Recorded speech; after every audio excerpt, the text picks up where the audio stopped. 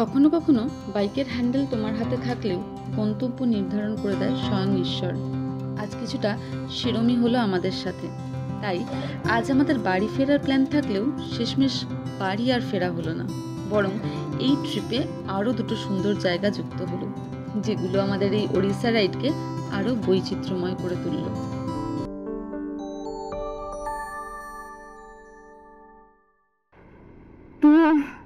দেবকুণ্ড থেকে উদলা এসে এবার আমরা আমাদের নতুন গন্তব্যের উদ্দেশ্যে সেটা হচ্ছে চাঁদিপুর।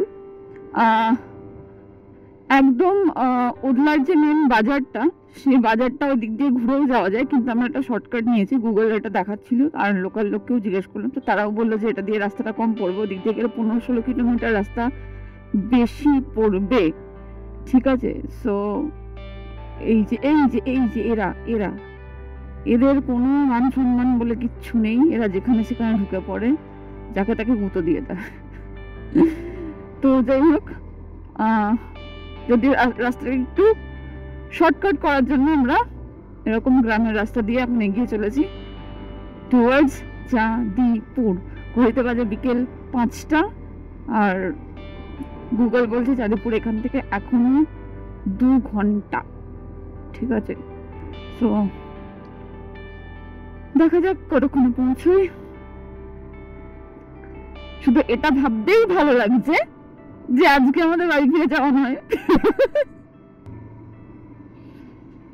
সো সূর্য ওদিকে অরেঞ্জ হয়ে এসেছে ডুবো ডুবো করছে। তো, ওই যে আমার পেছনে সূর্য, পুরো ডিমের কুসুমের মতন হয়ে ডুবে যাচ্ছে। আর আমার চারদিকের ভিউটা কিছুটা এরকম, একদম ফাঁকা, ধুধু মাঠ দুদিকে অ্যাকচুয়ালি ক্ষেত জমি, যেখানে এখন কোনো ফসল নেই, তাই ধুধু মাঠ। ওদিকে চাঁদও উঠে গেছে আকাশে। তো বেসিক্যালি এরকম একটা সিচুয়েশন গধূলি লগ্নে আমরা এখন এগিয়ে চলেছি চাঁদিপুরের দিকে, তাই তো? আর ক কিলোমিটার বাকি? পাঁচ। পঞ্চাশ কিলোমিটার এখনও বাকি।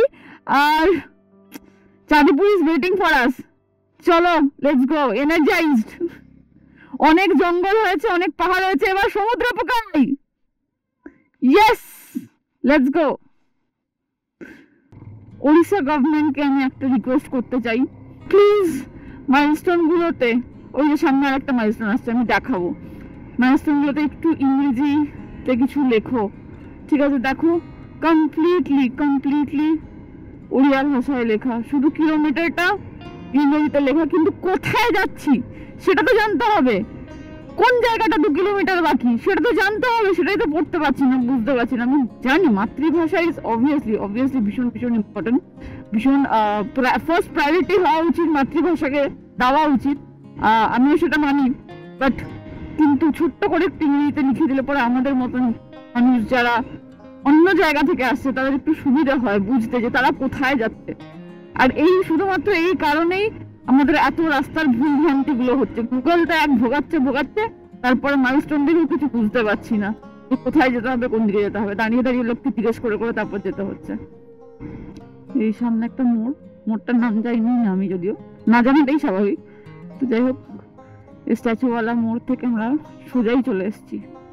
সূর্য এখন কমপ্লিটলি ডুবে গেছে। জাস্ট দিনের আলোর ওই আভাটা রয়েছে এখন। এখন আমরা এরকম গ্রাম গ্রামের মধ্যে দিয়ে এগিয়ে চলেছি। একদম সামনে দেখো জাস্ট পাহাড়টা দেখা যাচ্ছে। হঠাৎ করে আমি জানি না মানে এতক্ষণ পাহাড়ের কোনো ভিউ ছিল না, কিন্তু হঠাৎ করে সামনে করে তো একটা বিশাল পাহাড় চলে এলো। অন্ধকার প্রায় হয়ে এসেছে মানে প্রায় কি হয়েই এসেছে ইনফ্যাক্ট জাস্ট দিনের শেষ আবহাওয়াটুকু রয়েছে। আর এরকম সুন্দর একটা পাহাড়ের রেঞ্জ আমার সাইডে আর নদীটা নিচ দিয়ে যাচ্ছে। নদীটা পুরো চড়া পড়ে আছে, নদীতে কিন্তু জল নেই। পুরো চড়া, ওদিকটা পাহাড়। এরকম একটা জায়গা দিয়ে আমরা এখন যাচ্ছি। পোকাগুলো ফটফট করে ভাইজারে লাগছে আর এইখানেই ব্যাপারটা যেটা ঘটছে, সেটা হচ্ছে টেম্পারেচারটা ফসফস করে ড্রপ করছে। এই যতক্ষণ রোদ থাকে, ততক্ষণ বেশ সুন্দর, গরম গরম থাকে। মানে ইনফ্যাক্ট বেশ সুন্দর কি? বেশ ভালো রকম গরম থাকে। আর এই সন্ধ্যেটা হলো ব্যাস, ঠান্ডা লাগতে শুরু করে। কিন্তু যেমনই লাগুক ভিউটা তো ভালো লাগছে বলো। পাহাড়টা যেন আমার সাথে সাথে যাচ্ছে। সিরিয়াসলি মিস্টার আমাকে সিগন্যাল দিল ফগ লাইটটা জ্বালিয়ে নেওয়ার। তো বন্ধুরা সিচুয়েশন এখন এই যে একদম অন্ধকার হয়ে গেছে। দেখতে পাচ্ছ, আশেপাশে আলো টালো চলে গেছে, রীতিমতো আকাশে চাঁদ একদম জল করছে। আজকে পূর্ণিমা, মাঘী পূর্ণিমা আজকে। তো আর এখনও পর্যন্ত কিন্তু আমরা বড় রাস্তায় উঠতে পারিনি। আচ্ছা এটা কি, এখানে একটা কিছু মন্দির আছে? মিস্টার সৌগত ওইখানেই নিয়ে যাচ্ছে আমাকে। আচ্ছা এটা কোনো নতুন নতুন নতুন নতুন।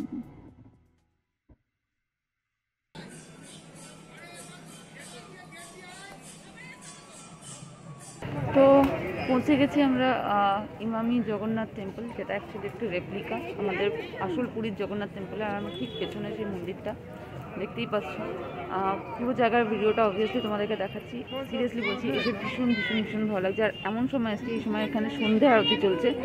তো মনটা একটু ভক্তি ভরে গেল গাইজ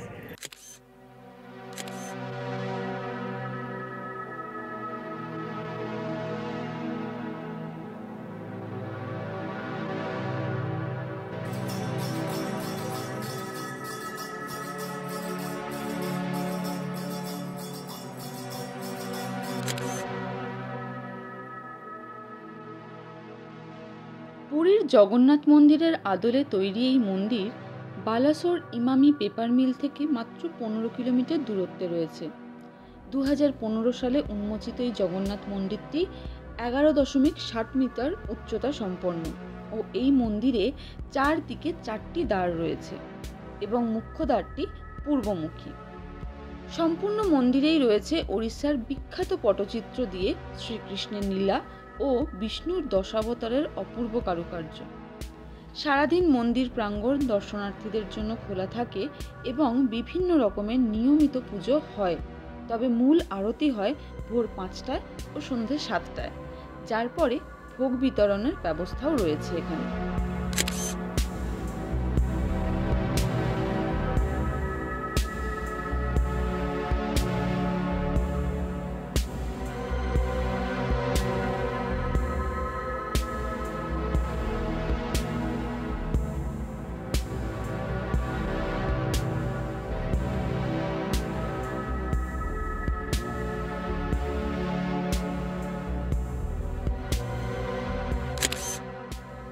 এটাই হলো এখানকার দান পেটি কত প্লেট তাও আবার জলের মধ্যে হুম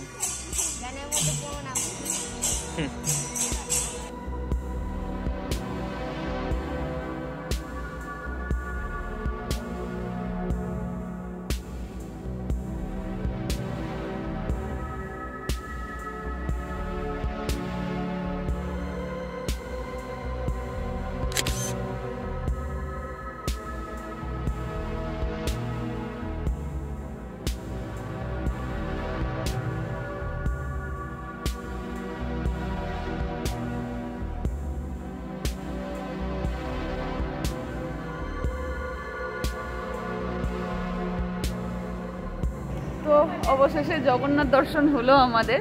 ঠিক আছে? একদম সুন্দরভাবে, একদম পুরীর যেমন জগন্নাথ মন্দিরে সবার মুখে শুনেছিলাম সেরকমভাবেই। আর এই যে এইখানটায় করে জুতোটা রেখে ব্যাগ দেয় ফ্রি অফ কস্ট জুতো রাখতে দেয়। তারপরে এইখানে হাত পা ধোয়ার জায়গা, এখানে হাত পা ধুয়ে তারপরে এই যে গেটটা দিয়ে ঢুকতে হবে। ঠিক আছে, এটা মেন গেট এখান দিয়ে ঢুকতে হবে। জগন্নাথ দর্শনও হলো। এই সময় সন্ধ্যা আরতির টাইম জগন্নাথ দর্শন হলো। আর সব থেকে বড় কথা, ঠাকুরের ভোগ, সেটাও মিস যায়নি আমাদের। সো একদম সম্পূর্ণ একটা আলাদা অনুভূতি। এই কদিন যেভাবে রাইড চলছিল, যা যা ইয়ে হলো, তার মধ্যে একদম কমপ্লিটলি আলাদা অনুভূতি। ভীষণ ভীষণ ভীষণ ভালো লাগল। চলো, তাড়াতাড়ি। এবার যেতে হবে? চলো। তো খুব সুন্দরভাবে ইমামি জগন্নাথ টেম্পলে আমরা জগন্নাথ দর্শন করলাম, করে এখন সেখানে ভোগ টোগ খেলাম সব কিছু করে টোরে আমরা এখন এখান থেকে আবার বেরিয়ে পড়েছি।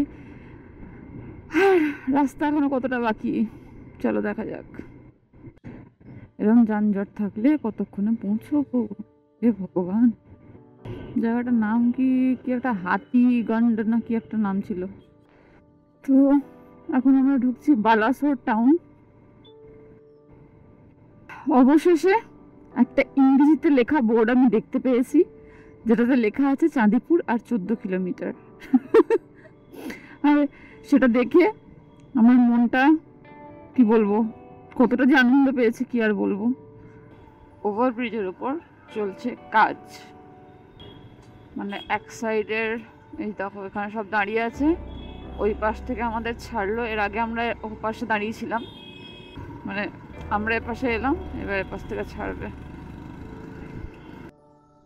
So here comes the sign board welcome to Chandipur sea beach পৌঁছে গেছি পৌঁছে গেছি মানে পৌঁছে যাইনি, পৌঁছে যাব এক্ষুনি। খুব ভালো লাগছে, কারণ একটু পরেই দেখতে পাবো সমুদ্র। হ্যাঁ হ্যাঁ দেখেছি! রাস্তাটা কিন্তু ভালো হয়ে গেছে বস আগের বার যখন এসেছিলাম, এরকম সুন্দর মাখন রাস্তা ছিল না, হুম, পিচ খোবড়া খোবড়া রাস্তা দিয়ে আমরা গেছিলাম, আমার মনে আছে। ঘড়িতে সম্ভবত প্রায় আটটা বাজে এখন। আমি জানি না, এবার এখানকার কি পরিস্থিতি, হোটেল ফোটেল নিয়ে কি চাপ হবে? আই হ্যাভ নো আইডিয়া চলো, এই অন্ধকার রাস্তা দেখিয়ে কোনো লাভ নেই, ঠিক আছে? ফালতু।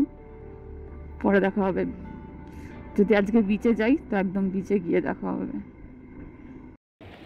তো ফাইনালি পৌঁছে গেছি চাঁদিপুর সি বিচ একটা টিপে পাহাড়, জঙ্গল, সমুদ্র সব একসাথে হয়ে গেল। আর সব থেকে বড় কথা পূর্ণিমা, একদম ফুল মুন মাঘী পূর্ণিমা আজকে।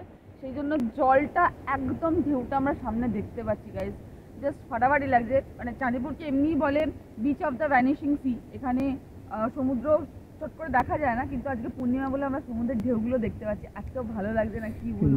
জাস্ট খুশি খুশি। আর তার থেকেও বড় ব্যাপার যেটা সেটা হচ্ছে সাহু যেমনটা চায় একদম কমপ্লিট সেরকম। একটা লোক এখানে পুরো ফাঁকা। ডগিটাও আমাদের দেখে ভৌ ভৌ করছে। এরকম অবস্থা। ওর মানুষ না দেখে দেখে এমন হয়ে গেছে। কিছু করার নেই কিন্তু খুব মজা লাগছে সমুদ্র দেখা তো যাবে না শুধু আওয়াজ শুনতে পাবে। একদম সমুদ্রের আওয়াজ শোনো কাল সকালে সমুদ্র দেখাবো পাক্কা প্রমিস চলো। চলো লেটস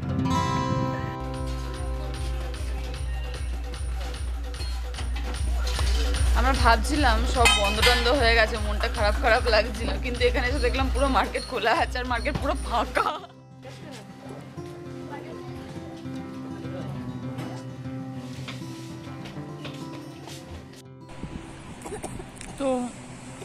আমাদের ডিনার পর্ব চলছে এগ রোল দিয়ে। আর বেস্ট পার্ট হচ্ছে এরকম শান্ত নিস্তব্ধ নিরিবিলি শুধু সমুদ্রের আওয়াজ শুননা ডিনার বোধ হয় সাথে শুধু খাওয়ার জন্য রয়েছে এরা। ঠিক আছে। দূরে ক্যামেরা দেখা যাচ্ছে না শুধু মানে ওই. জেলে বোটগুলোর আলোগুলো জ্বলছে আর শুধু আওয়াজ। চোখে দেখা যাচ্ছে ক্যামেরায় দেখা যাচ্ছে ফুল মুন। একদম। ফুল মুন আকাশে তারা সমুদ্রের আওয়াজ ভালো ডিনার আর সাথে মনের মানুষগুলো। ব্যাস লাইফ ইজ ব্লিস ঠিক আছে এর থেকে বেশি আর কিছু চাই না। চলো। কাল সকালে দেখা হবে।